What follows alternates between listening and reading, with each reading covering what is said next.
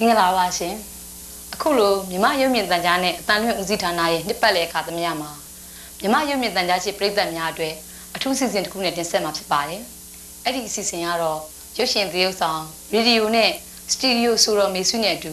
ဂီတအပေါင်းအသင်းများပါဝင်သိဆိုထားတဲ့ချို့သောသချင်းများလို့အမည်ပေးထားတဲ့ဂီတဖျော်ဖြေတင်ဆက်မှုအစီအစဉ်ပဲဖြစ်ပါတယ်မေဆွဟာရုပ်မြင့်တန်ကြားစံသက်ကာလစပြီးတော့ဒီကနေ့ထိအောင် မြမရုပ်မြင့်တန်ကြားမှာရောရေဒီယိုမှာပါ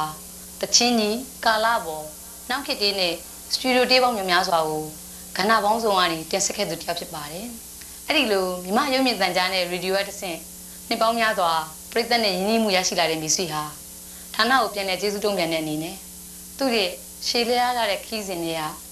ကောင်းလို့ရတာတေးသချင်းများကို